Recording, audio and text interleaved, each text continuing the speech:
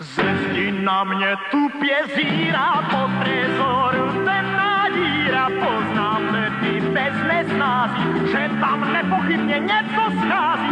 Vesti byl totiž po dědovi, velký trezor ocelový, mám tedy ztrátu zdánlivě minimální.